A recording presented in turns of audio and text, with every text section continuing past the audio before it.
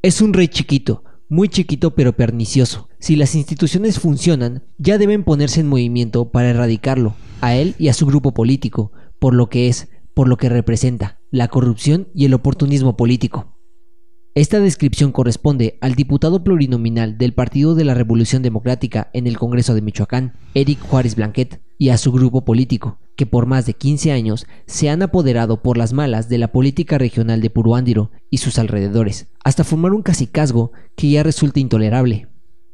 Los habitantes del municipio de Angamacutiro, que forma parte de los distritos electorales federal y local con cabecera en Puruándiro, en donde el diputado Eric Juárez Blanquet ha sentado sus reales, señalaron lo anterior y saben lo que dicen, pues lo padecieron como presidente municipal y ahora sufren bajo la administración de su hermana, Maribel Juárez Blanquet.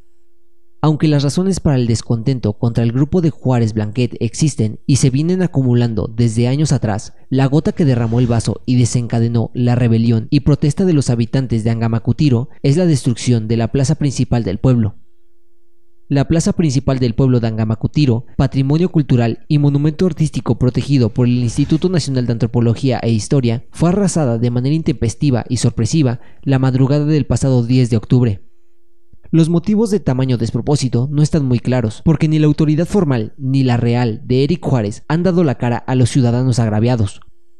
Por el contrario, han lanzado amenazas contra los mitoteros y revoltosos, que han emprendido acciones en defensa del patrimonio artístico y cultural de la comunidad.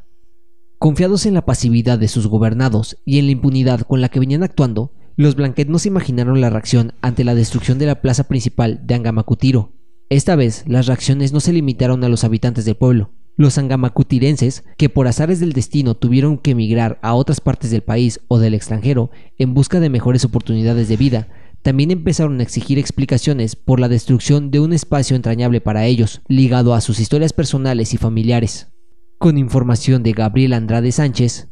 Agencia Cuadratín. Grupo de Oro presentó